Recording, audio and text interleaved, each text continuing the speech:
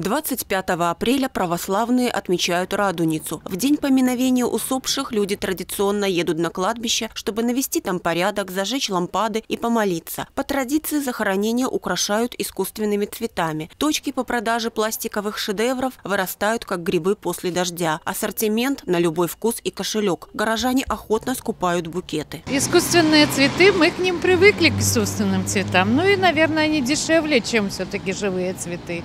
Поэтому как бы вот покупаем искусственные. Это просто удобно, потому что э, поставишь, не каждый день ходишь на кладбище, они будут там, в общем-то, красиво стоять и украшать обстановку. А если поставишь э, живые, то они очень быстро портятся, и надо часто ходить убирать, потому что некрасиво. Это же, ну, насколько я себе помню, мне уже 73 года, и я помню, что это все время так было. И мы продолжаем традицию своих дедушек, бабушек родителей. Дело в том, что эти цветы дальше сохраняются на кладбище, вот. а живые тоже ставим, ну, те надо убирать через недельку, максимум полторы.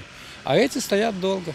Антропогенная нагрузка. Кладбища буквально утопают в искусственных цветах. Экологи бьют тревогу. Украшения быстро приходят в негодность. Они не подлежат вторичной переработке и отправляются на полигоны с отходами. Там они разлагаются от 100 до 500 лет. Выделяют токсичные вещества, загрязняют почву, воздух и грунтовые воды. Хуже, если это все не уедет на объект захоронения, а будет сожжено.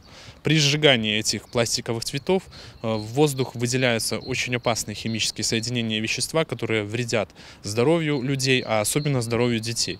Поэтому для того, чтобы минимизировать вред для здоровья нас и вред для здоровья наших будущих поколений, наших детей, мы призываем людей воспользоваться альтернативой пластиковым цветам. Украсить места захоронений можно и живыми цветами в горшках, многолетниками, газонной травой и карликовыми кустарниками. Дополнить свечами и лентами из ткани. А для тех, кто не знает, с чего начать, в помощь акция «Радуница без пластика». В городе она проходит впервые. Инициатива стартует 22 апреля в Бобруйске католических церквях в Иверском, Свято-Ильинском, Елисофетинском и храме Святого Духа. Кульминация 25 в 10 утра у входа на Минское кладбище. Люди, которые придут без искусственных украшений, получают саженцы растений бесплатно. Очень радует, что эту акцию поддержали э, многие бобрычане наши, откликнулись. Мы дали в соцсетях объявление, и уже у нас нашлись волонтеры, которые будут участвовать в раздаче саженцев.